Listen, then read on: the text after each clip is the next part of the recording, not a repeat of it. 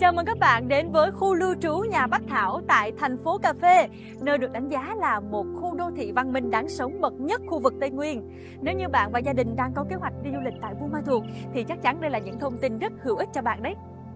Không chỉ đơn thuần là nơi lưu trú, những ngôi nhà Bách Thảo gói trọn cảm hứng từ những khu vườn dược liệu tràn đầy hương thơm và năng lượng của thành phố cà phê với những loại hoa cỏ tự nhiên quý hiếm của bản địa.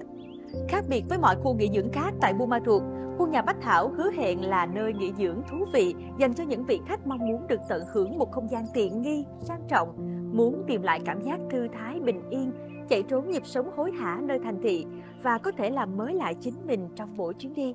Khi tới lưu trú ở đây, bạn sẽ được hướng dẫn check-in tại tổ hợp gym yoga bắn cung. Đây là một tiện ích đặc biệt tại khu đô thị thành phố cà phê.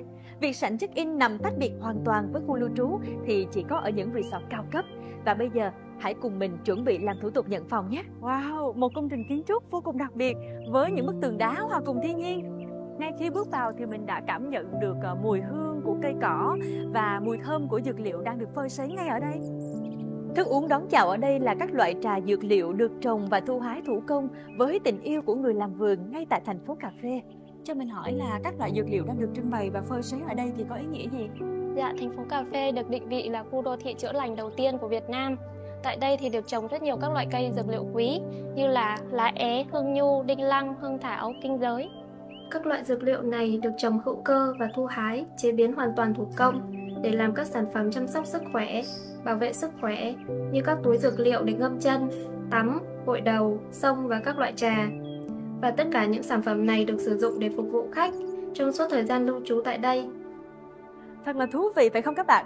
Mua dịch vụ lưu trú du lịch nhưng lại được chăm sóc sức khỏe bằng những loại dược liệu tự nhiên như tại các khu nghỉ dưỡng sinh thái 5-6 sao.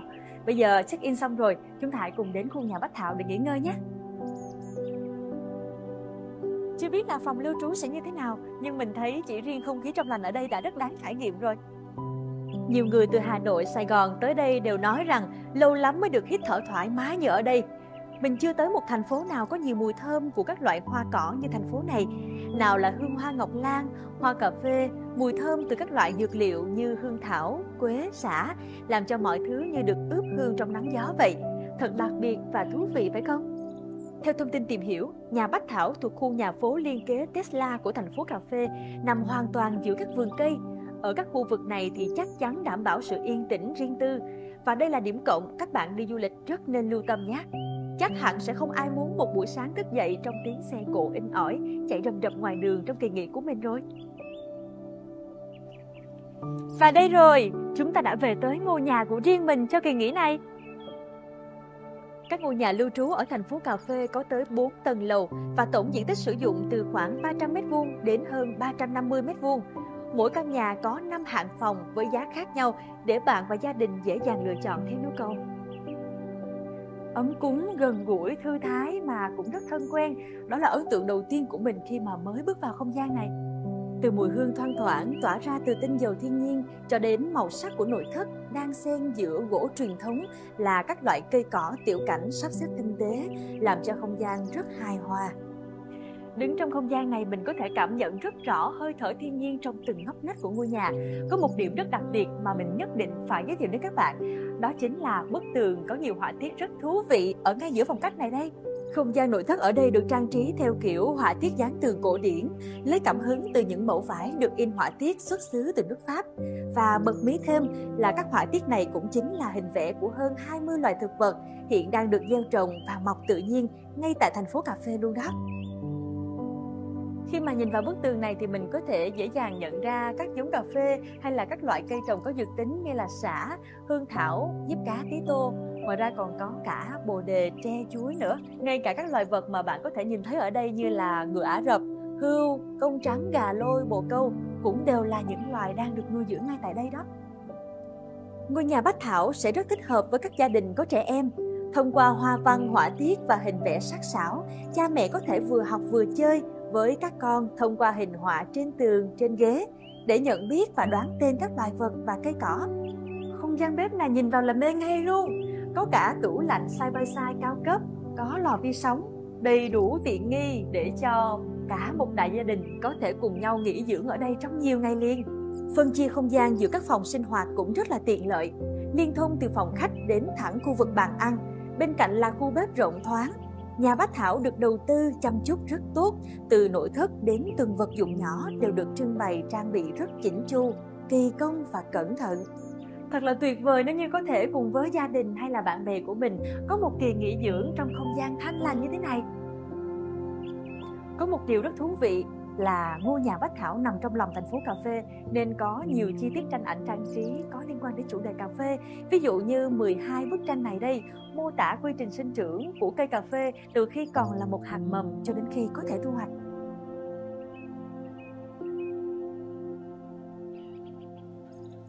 Phòng Bách Thảo cũng có thiết kế được lấy cảm hứng từ những khu vườn dược liệu của thành phố cà phê.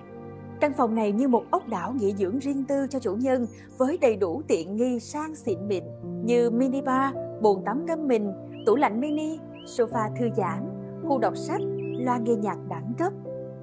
Là ngôi nhà chữa lành nên mọi vật dụng ở đây như là bộ ga trải giường được làm từ chất liệu cô tông hữu cơ hay là gối và chăn lông cũng rất là mềm mại, êm ái. Mình tin là mình sẽ có một giấc ngủ rất thoải mái và chất lượng ở đây. Nếu như bạn có một giấc ngủ sâu thì sẽ tái tạo năng lượng rất hiệu quả đó. Đặc biệt đối với khách lưu trú dài, thành phố cà phê phục vụ ngâm chân thư giãn với dược liệu. Sau khi kết thúc một ngày dài trải nghiệm khám phá khắp nơi, đôi chân của mình được chăm sóc thả lỏng trong làn nước ấm áp với hương thoang thoảng dịu nhẹ của thảo dược. Mình cảm thấy cực kỳ thư giãn thêm một ưu đãi hấp dẫn khó chối từ, vừa khéo lại rất đúng gu với những du khách lưu trú tại nhà Bách Thảo yêu thích lối sống thượng lưu tinh tế. Du khách lưu trú sẽ được tặng một set trà chiều ngắm hoàng hôn đẹp nhất Buôn Ma Thuột với ba văn minh Ottoman, Hiền và Roman.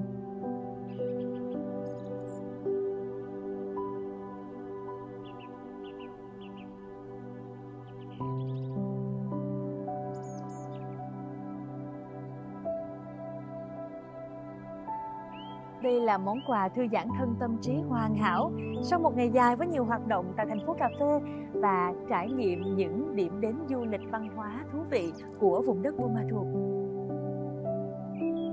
Nhâm nhi tách trà chiều và các set bánh mặn ngọt và đồ ăn nhẹ kèm theo rất sáng tạo, mới hiểu các đầu bếp và barista hàng đầu của Trung tâm Văn hóa ẩm thực ba miền đã dành công sức chắc lọc nguyên liệu và chế biến tinh tế như thế nào. Tin mình đi, Set trà chiều này sẽ đốn tim cả những thực khách có gu thưởng thức sành điệu nhất. Ngoài ra, trong thời gian lưu trú ở nhà Bách Thảo, du khách có thể thoải mái sử dụng các tiện ích như vườn zen, khu tập gym yoga và nhiều dịch vụ thú vị có thể đăng ký thêm ngoài gói lưu trú như luyện tập cưỡi ngựa Ả Rập, golf 3D, bắn cung. Chỉ cần quét mã QR code được đặt sẵn trong mỗi phòng Bách Thảo là chúng ta có thể tìm thấy thông tin hướng dẫn sử dụng các tiện ích dịch vụ rồi đấy. Chỉ còn ít ngày nữa là kết thúc hè rồi, hãy cùng với gia đình và bạn bè đến ngay thành phố cà phê để tận hưởng kỳ nghỉ dưỡng chạm vào thiên nhiên ngay trong ngôi nhà Bách Thảo này nhé.